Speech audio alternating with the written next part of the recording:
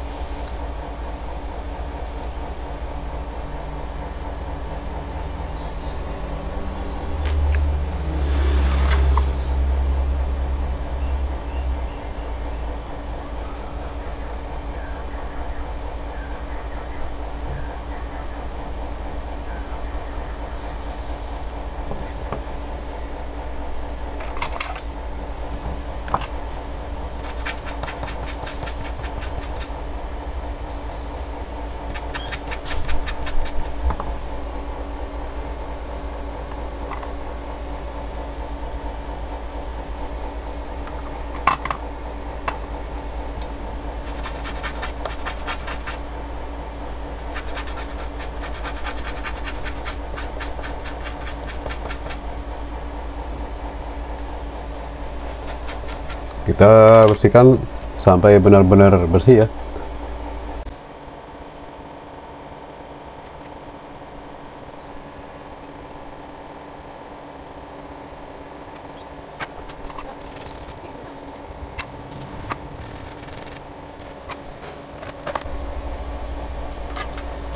Saya gunakan plat dari Amoe Amawe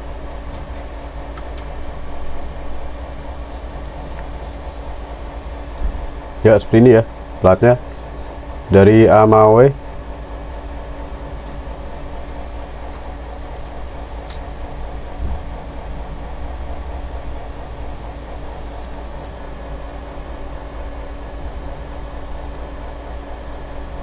kita cari ini kan banyak yang cetakan-cetakan ya. Banyak. Nah kita cari ini. Eh, sementara kita cari dulu ya awalnya cari seperti ini yang mana yang pas?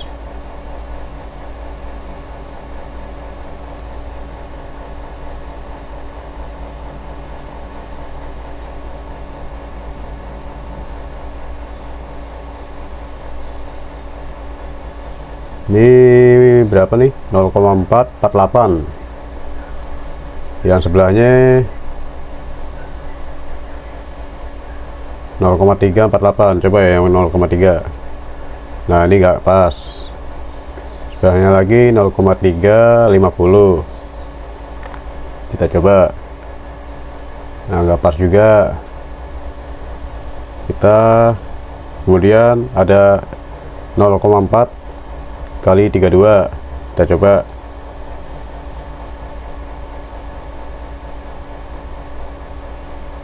nah ini 0,3 eh apa 0,432 pas ya.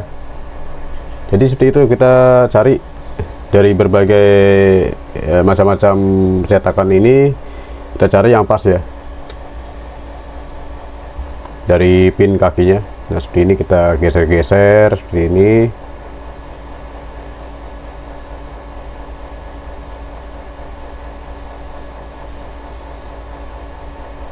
dari sisi-sisinya kita lihat pojokan-pojokan lurus atau mencong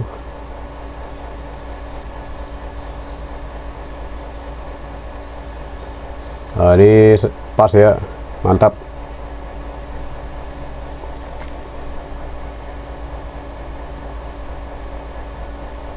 Ini sudah sangat pas nih. Mantap semuanya kena pin-pinnya Oke kita coba ya. Lanjut.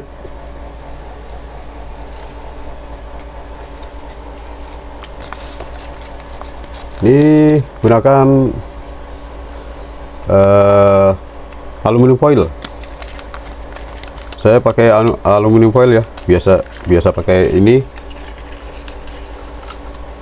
Bisa juga dengan solasi anti panas ya ini ditempel di sini ya tengah-tengah sini. Tempel tengah-tengah seperti itu. Biasanya tuh oke. Kemudian tadi yang cetakannya kita cari ya kita pasang ya. Kalau masih mencong geser-geser aja dikit. Pelan-pelan geser-geser. Sambil ditekan-tekan gitu ya ini kan agak kasar tuh. Kalau masuk eh, ke celah lubang platnya mata kakinya itu agak nyangkut jadi eh, terasa nge ngeplak gitu ngepres mantap.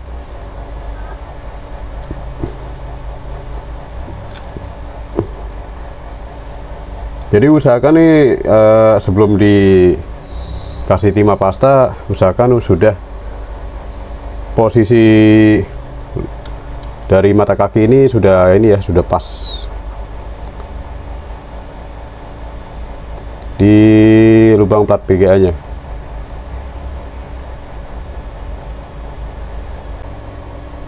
Oke.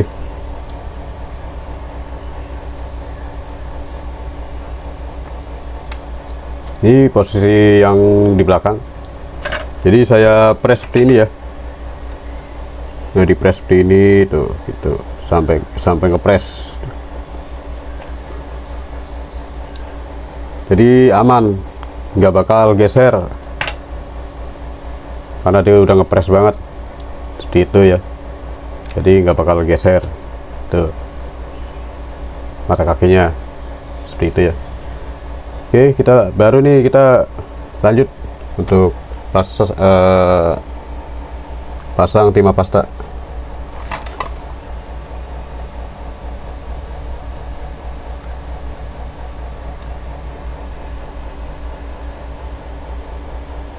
bisa pakai jari bisa pakai plat seng seperti ini bisa pakai jari ya diputar-putar gini bisa. Pakai jari diputar-putar kalau saya kan biasa uh, pakai seng juga bisa. Ya tergantung masing-masing ya. Ada yang eh, ada yang ringkas pakai jari uh, diputar-putar aja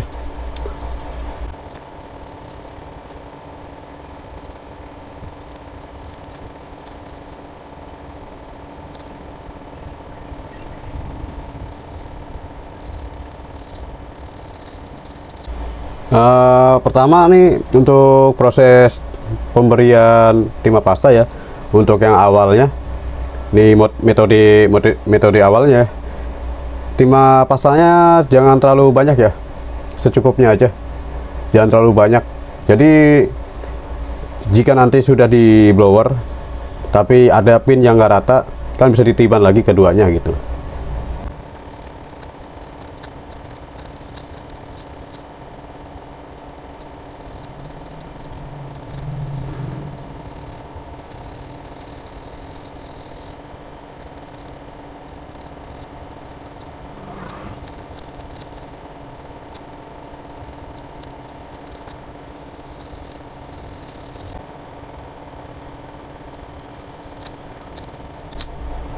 jadi lebih amannya seperti itu ya untuk proses uh, pemberian timah pasta ya.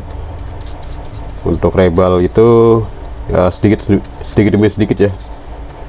Jangan langsung banyak terus dikusek-kusek gitu kan.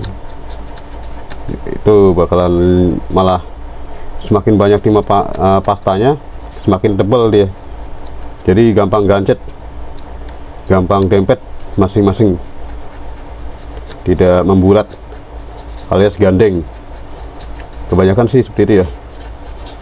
Dan juga kebanyakan pluk terlalu banyak pluk